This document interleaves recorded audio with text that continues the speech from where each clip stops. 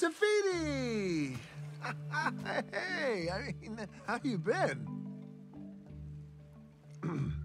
Look, what I did was wrong.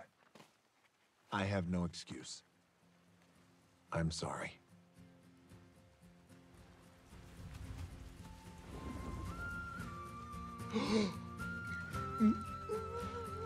You know, it'd be rude to refuse a gift from a goddess.